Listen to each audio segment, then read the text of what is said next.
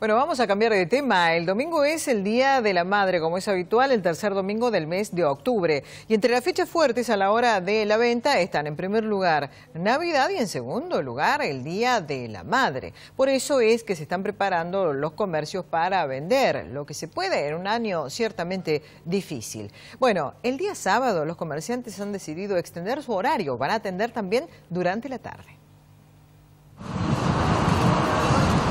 El comercio ya tiene definido la atención para este tipo de fechas tan importantes como el Día de la Madre. Es la fecha, la segunda fecha más importante en lo que es facturación para, para el comercio. La Cámara de Comercio anticipa que habrá extensión en el horario de atención en las jornadas previas al Día de la Madre. El día viernes se va a extender un poco el horario, en el horario de cierre, que normalmente es entre las 7 y media y 8 de la noche. Seguramente muchos, muchos comercios ya han definido y han decidido ampliar un poco y extenderlo un poquito más.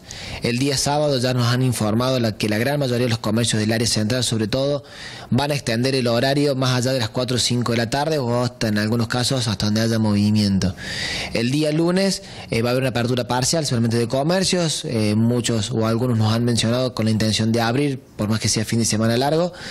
Así que bueno, un poco ya está dada la, dinámica, teniendo en cuenta que la expectativa es, es muy buena porque el Día de la Madre tracciona muchísima gente. Aunque las mayores ventas se realizan los dos días previos, anticipan que habrá un buen resultado porque los precios no subieron demasiado y hay variedad de promociones. Nosotros el día sábado estuvimos haciendo un relevamiento, sobre todo en lo que es el área central, y vimos muchísimo movimiento todavía no está dado un, resultado eh, ni siquiera parcial en cuanto a lo que van en las ventas. La expectativa siempre es muy buena y es muy alta porque lo que te decía recién, el Día de la Madre es muy importante para, para, el, para el comercio, por eso también está trabajando muchísimo en promociones, hay promociones con tarjetas de crédito, hay promociones en efectivo, eh, el plan ahora 2, el ahora 3, el ahora 6, todo lo que es zapatería, marroquinería, indumentaria, eh, joyería, digamos, electro, lo que es telefonía, son todos artículos junto a la perfumería que pican en punta a la hora de este tipo de,